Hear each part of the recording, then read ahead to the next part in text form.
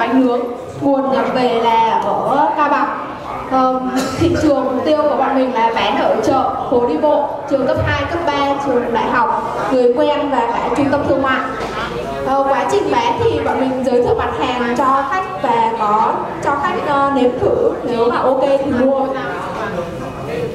giá thì tùy từng bạn sẽ định một giá khác nhau nhưng mà dao động từ 25 đến 30 nghìn đồng một sản phẩm một túi thì gồm có 5 cái bánh.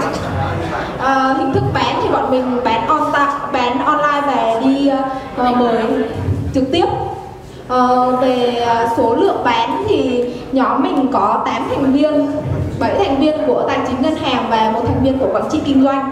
Uh, nhóm mình thì do là trình bày về sản phẩm uh, mở ngân hàng cho nên đến uh, chủ nhật thì mới quyết định được uh, bán bánh nướng và thứ hai thì mới bắt đầu ờ, nhà sản xuất từ ờ, cao bằng với nhập hàng về cho nên từ hôm đấy đến giờ là 4 ngày đi bán.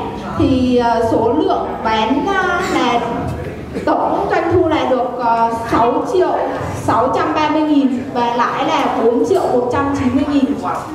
Uh, sản uh, về sản phẩm bán thì khá uh, không được bán bánh bánh nướng. Bên cạnh đó các bạn còn bán thêm uh, bắp rang bơ và áo giữ nhiệt để thu về thêm lợi nhuận ạ vâng em cảm ơn.